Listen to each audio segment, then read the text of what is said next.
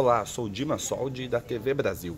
Aconteceu hoje pela manhã aqui na Assembleia Legislativa de São Paulo a posse do governador João Dória. A cerimônia foi bastante enxuta, durou cerca de 40 minutos. No discurso, João Dória enfatizou a palavra trabalho, que deverá, segundo ele, pautar os próximos anos do governo paulista.